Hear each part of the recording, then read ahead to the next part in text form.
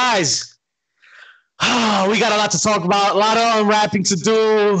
Let's just get right into it. The nitty and gritty, my brothers. Life is hard. Uh, getting up for work is hard. Having a job is hard. Keeping that job is hard. Succeeding in that job is hard.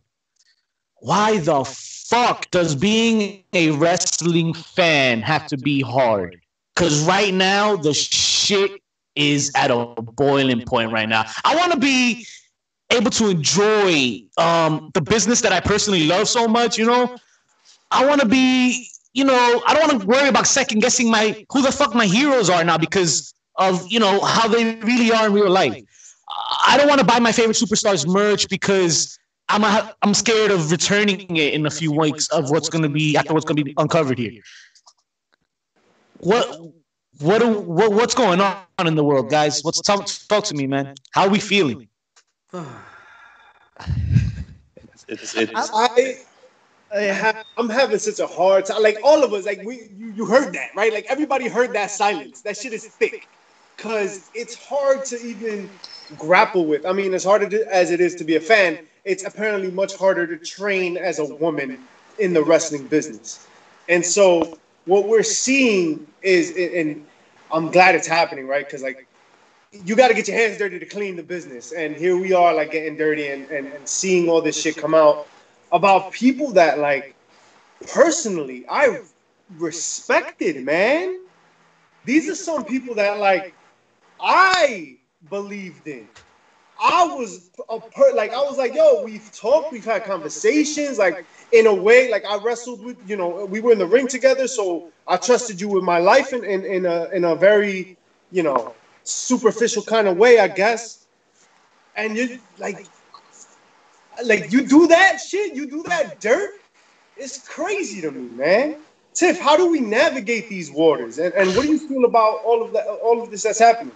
It's crazy, right? Because like like you say, like Queen of the Indies, right? Like I go to like a million indie shows. Like I'm always at independent shows, and it's just heartbreaking because it's like you can't even scroll through social media without seeing like a new story coming out and it's disgusting and it's so hard to put into words like i really had like i can't like i'm sitting here trying to like figure out all of this and and it's just oh god i i, I I like the most that hit me was like Marty Scurll. Like here's yeah. that like I love to death. Like, you know, like if if you know me, you know, like I have a whole thing called the list of husbands.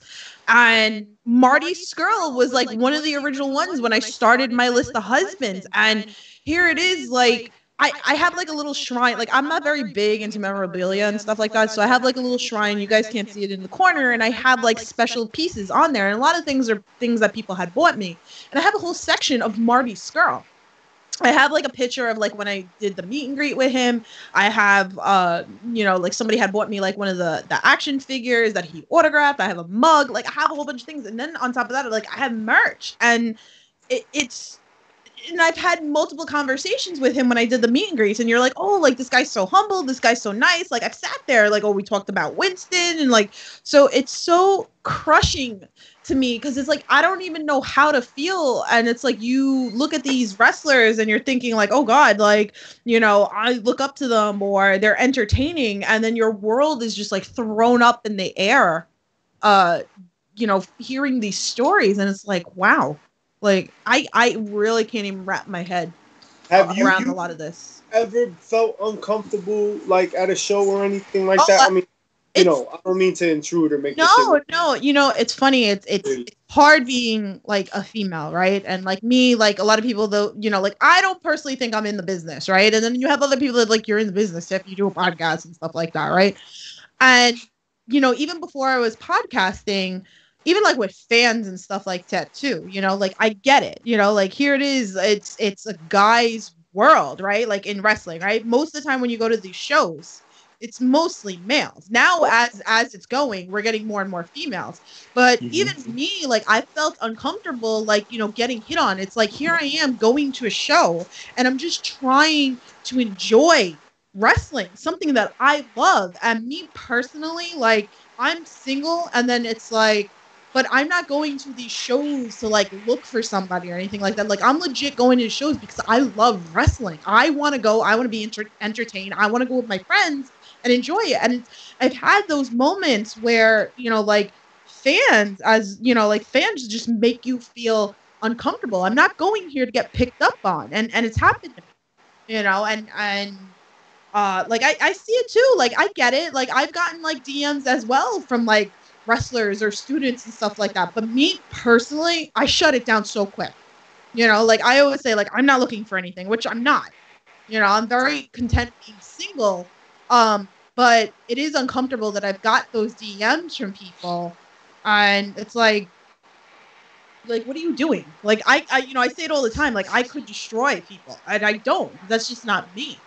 But you know, sh- nobody should feel uncomfortable at all. Right. Agree. So Yeah, that's definitely that's definitely seems to be the topic of discussion this week. Um, with so many stories, uh, we're gonna get into some of these these uh headlines here. Um, first and foremost, I think uh one of the top ones got to be Sammy Guevara and uh and how he's trending, man, with the whole uh, uh, uh sting with Sasha Banks. He, he I think he said he wanted to rape her. Um, Sasha even came out and spoke on it here, guys. Uh, how do we feel about her rebuttal? Because uh, she doesn't downplay it at all. She sticks up for uh, uh, um what's right here, but um she also explains that or kind of kind of hints that maybe he might have been joking or saying it in, in kind of like a joking manner. Well, I think to be fair, and you know, at least to me, it, it was a joke. It was a really bad, distasteful Bad bad joke. Yeah. that I think like a lot of people say behind the scenes or whatever, like things like that, and like that's part of the problem is that we use that word in particular and, that, and those kinds of of actions like in a very playful kind of banter, and then like they have really Right. serious consequences, right?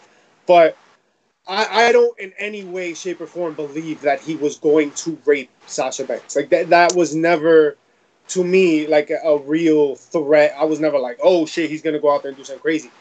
I believe. I think I get that from her too, with with her response. Yeah, I, that, I, I- that's what I saw. I, I didn't think anything of it. I mean, I thought also his response to everything had been really good. He he immediately was like, "I'm so embarrassed." He reached out to her privately first. I think that's always Right. like the course of action, right? Like if you fuck up, listen, people fuck up. Like people say crazy shit, or, or a moment gets away from them. Fine, right? Like as bad as it was, the first thing you do is go to the offended party and you're like, yo, I fucked up. My bad. Let, let's talk about this. And I thought him doing that first step before the public, because all of this other shit is all theatrics, right? Like it's all like Right. publicity. I want to save face and blah, blah, blah. And then he even did a video, which like I didn't even think was necessary really, and he did it, and I thought that was pretty convincing. So I think that you know, give him give him some time. You know, take care of yourself, kind of get your mind right, just like we would say with other things, right? When someone goes through some mm-hmm. some sort of like stressful, Yeah. right? We're like, yo, like, you know, get your head right. Like you got punished. Yo, this is your timeout, dog. Like. casa, cámate la boca, like you know, cámate, Pow, pow. yeah, yeah, and then whatever, right? Like, I, am I wrong? Yeah. No, it's true. Sensitivity training will give them that pop out for sure. And that's what they're doing, right? They're sending them to training with suspended um without pay and shit, right? That's Right. what Cody said.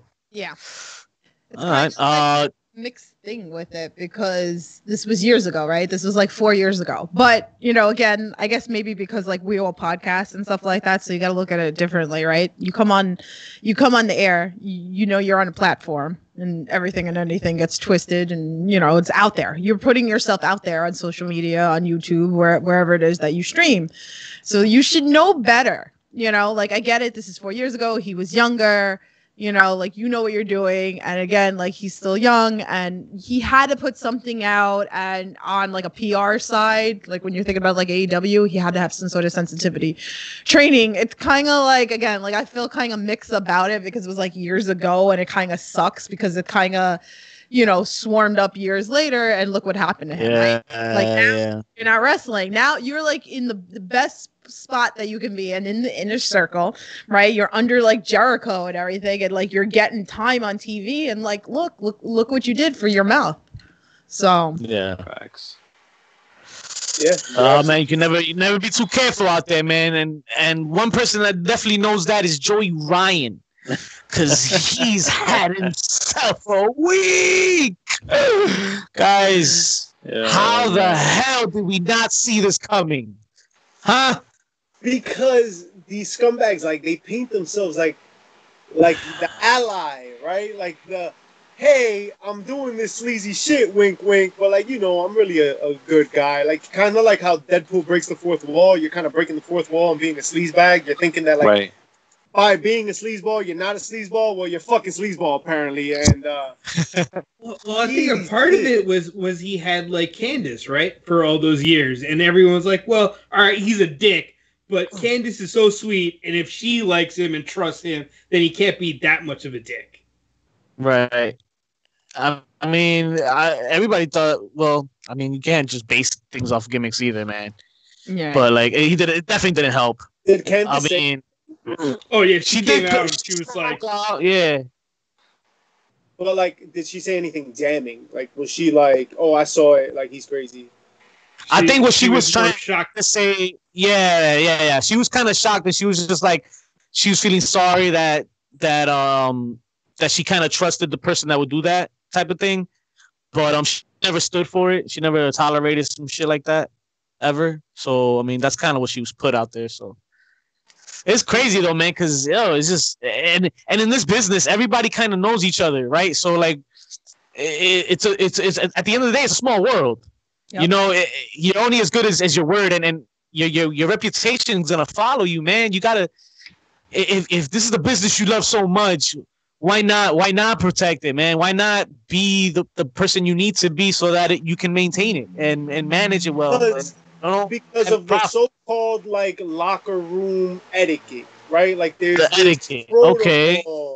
to like respect the elders and like to shake everybody's hand and like rookies got to do the grunt work and set up the But- ring and But is it like that? Is it? Oh, okay. No, I feel. I feel. I, I yeah, yeah, yeah. yeah. I, I get what you're saying. I thought I misunderstood you, but some of this is not just like creepy rape stuff, right? Like like like sexual stuff. You know what I mean? Like there's also also involved in all of this is also um like manipulation, power, control.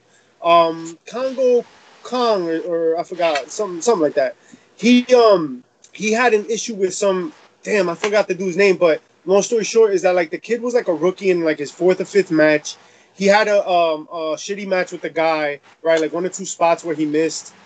And then Congo Khan like went in the back and he was like like berating him in front of everybody, fucking like whipped out his dick and shit, like like whatever, like crazy shit like that. And it was just like hazing the rookie. And then the dude at intermission went to sell merch. And when he went to the back, dude was like, Yo, you're supposed to be selling my chokeslam. Like, what the fuck, blah, blah. So that was like a thing. And he was like, Give me the money you made at merch. Jacked him for his money at merch. oh wow, Then there was like a battle royal at the end of the show. Then he went to the battle royal, and when he went to the back, the dude was like, "Yo, you didn't sell my choke slam. Give me the mo- give me the money for tonight." And everybody that speak up, give me your money too. And he ended up jacking like four or five rookies' money oh wow, That's crazy. because that's like rookie hazing. You know what I'm saying? Like, yeah, yeah. that's the thing is that like you're taking something that like high schoolers do and you're doing it to a fucking 20 30 40 year old like you know what i'm saying like that kind of dynamic and when you're Mhm. somebody that doesn't have any sort of experience any sort of leg in the business whatsoever no foot in no door right? A congo khan's got a name for himself right? At least you know in, in the indies as far as the indies are concerned right? Like some of these other names that are coming up. Mike quackenbush. Oh God. all of these are allegations. All of them. And as far as um as far as i know while there has been corroboration between parties apparently like multiple people have said similar things not uh, I- I- at least nothing has been acknowledged on his part and and that all we know is what they those girls said but they also closed the school down too. They closed the school. They closed the company. Um, the video game like are no. I hope, tomorrow. I hope all them students got their cash back, man, or they getting refunded or some shit or They compensated. No money from that, dog. They- that's it. That's Yeah. fucked up.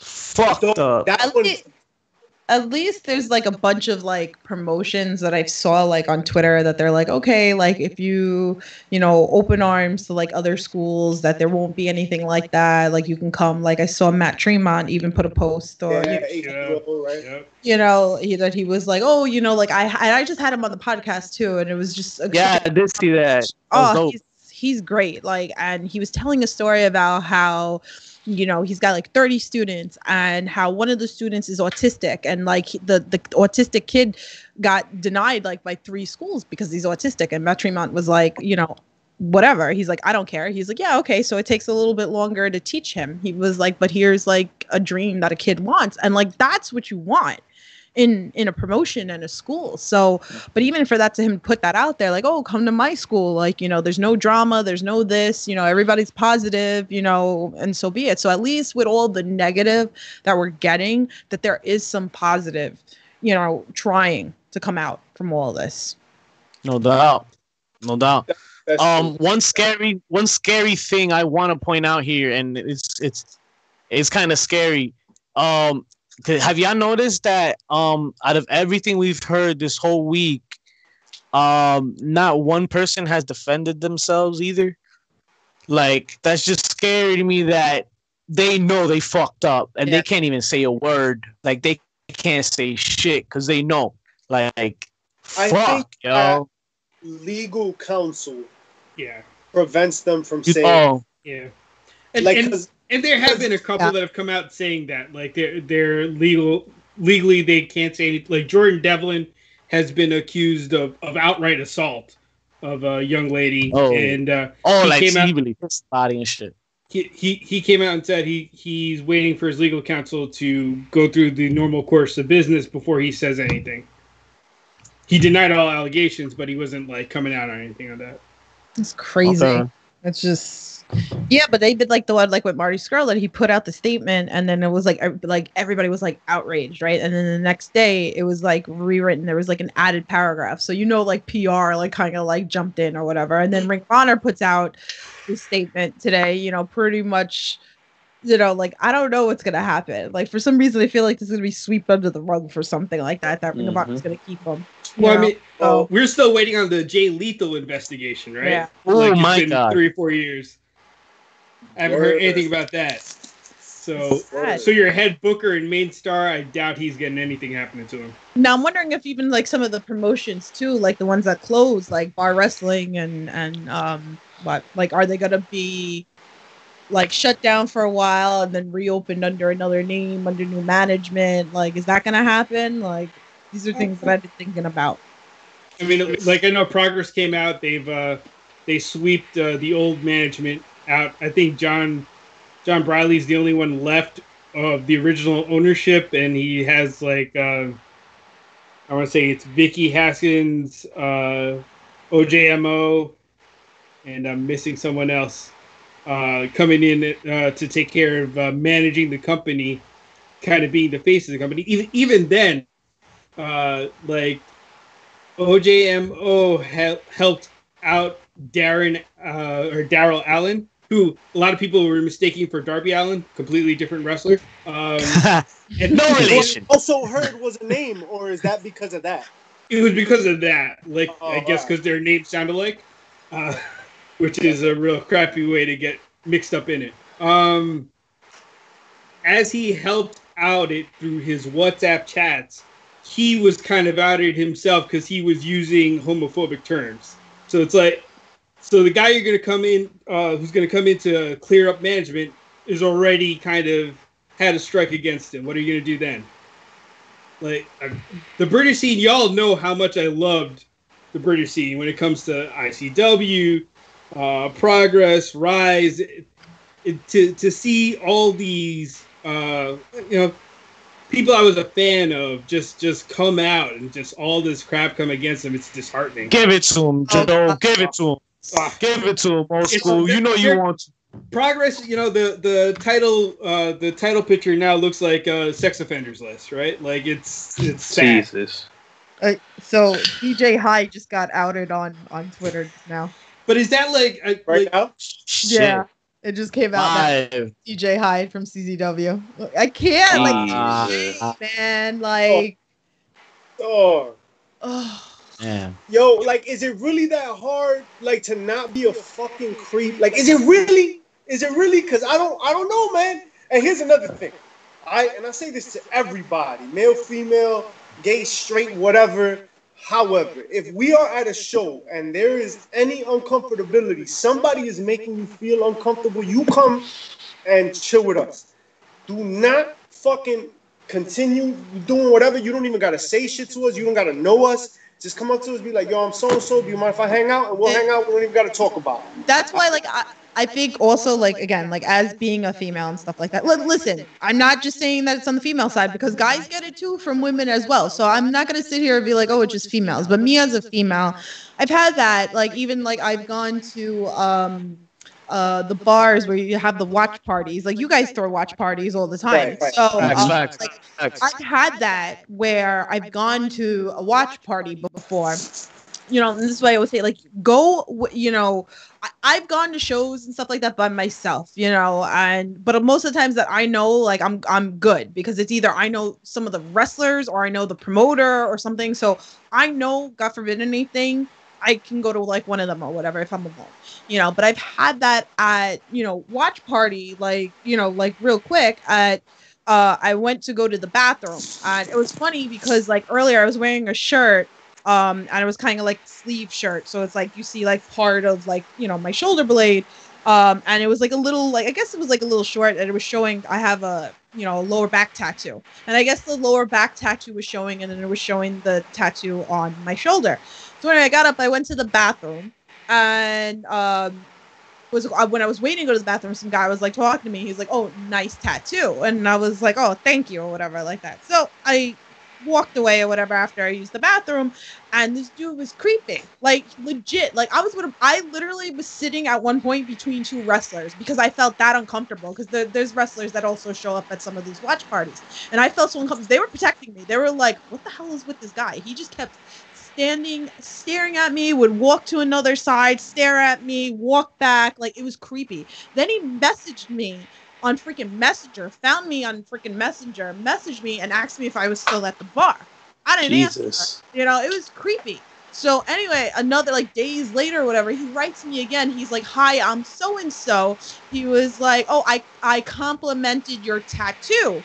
And you know so i was like okay you know and he was like yeah the one by your ass. Like what is wrong with people? Oh. like you know like so these are the things that i would i talk about that it's like it's uncomfortable. Like if you're gonna go somewhere you know have you know be with a bunch of people. So like again like i said i was sitting between two wrestlers because i felt very freaking uncomfortable. I'm like dude like and they saw it. And look what happened. And he's like in my dm like I- like you said but there's so many creepy people out there. And again me being a female is Mhm. one thing but i'm sure guys get it too. I hear stories from my guy friends with things that happen to them. So it's just nuts Uh, Keith Lee actually came out and spoke about about it this week too. Something about ha- a case that happened with him. Uh, he doesn't no longer drink because of it too. Uh, guys get it too, man. It's it's not just one way, man. It's out there and it's it's scary. It's a scary world. Is there Amongst other things, Is there anybody else that really like caught you off guard, or that you were like, damn, like damn, this person, yo, this guy or girl, this. What person. about Brock Lesnar? The accusation with Brock Lesnar by Terry Rowan. holy shit! Oh yeah, Terri Runnels That, said that. that's uh, not old. showed them the penis. But um, that was like, when was that? That was weeks And, stuck uh, motherfucker. No, that was like back in like 2002. Yeah. That was 04. Well, yeah, she started compl- making complaints or talking about it in 04, and they dismissed it. And uh, now they resurfaced. Seems like Right. the right time. Yeah, man. Like, crazy shit like that. And then that's like, that's because of that mentality, right? The same mentality that had people shitting in Jerry Lawler's crown. You know what I'm saying? Like that same locker room. so shit Mhm. like that. How many people shook Randy Orton's hand? Exactly. Oh, wow. That- that- that's right? And it's all the same shit, right? Like that kind of mentality where it's like that boys club, la la la. Like, I don't know, man. Again, anybody that is ever at a show that feels uncomfortable, bro, find Tiff because Tiff goes to all the fucking indie shows. Yo, No doubt, no doubt. Find us. Yo, we'll chill. We'll No They're- doubt, yo. Chill with. Buy us a buy us a drink. Buy us a drink. get We doing shot. I Oh. love. You know, it's funny. Like the picture that we all took at. Uh, I love Colin from Synergy. I Shout love out to Colin, man. Much love to Synergy Yeah. But Wrestling. That picture that we took, like the whole group of us that were standing by Yeah. the bar, like I have that. Like I have a picture. It's a family. It's a family. It's a beautiful thing. You can really bond over wrestling, and you can meet Yes. so many friends, and it's a wonderful thing. And as long as like you're not a creep, I'll talk to you. Just don't Yeah, be. let's try not do, let's try not being one of those. Oh. Amidst everything that's going on and all these news, ladies and gentlemen, motherfuckers is still not washing their hands Or wearing a mask. Wash or your ass. wearing a mask or wash your ass Watch Because- that. because goddamn, Listen, goddamn. you with a stage shirt, right? I told you guys this story before. Do not come up to me with stage shirts. That shit drives me crazy. Buy a five dollar shirt at Old Navy, okay? Like God. Oh man. Uh, there's a few there's a few wrestling personalities that's uh that's been announced that has caught the COVID amongst many positive results after testing too. Because WWE just came out with a fucking what was it a, a testing that sent mad people home. Uh, Renee Young is one of them. Uh, you said Kayla Braxton got it twice in three months. This guy said May Young. Man, yeah, but Jeez. Yo, that sucks. Wow. But AEW, but A, Renee Young has it, but AEW reports that Jon Moxley has not reported this week because he has come in contact with somebody who also has COVID nineteen. So I wonder who it is. Yeah. yeah. Why are they What? not protecting their roster? Tessa, Why are you not protecting your people? hold That's on, we got breaking news out here. JP, Yeah. breaking news Yeah. on the chat. Tessa, Yeah. Blanchard stripped of the title. What did she do? She got terminated because she was like dodging uh, you know, to defend the title. Well, AEW What? with her daddy. You know, I was actually thinking that. I'm wondering because Nyla Rose, right? She said that she does. We don't know who she's wrestling at Fyter Fest, right?